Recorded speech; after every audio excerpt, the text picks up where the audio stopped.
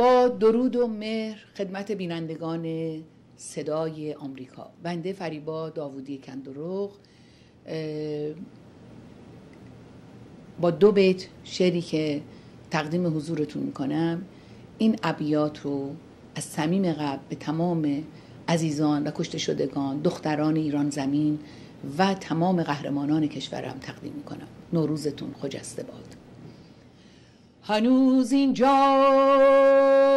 جوانی دلنشین است. هنوز اینجا نفس ها آتشین است. به آین دگر هنگام دیدار به نوروز دگر آین پدیدار.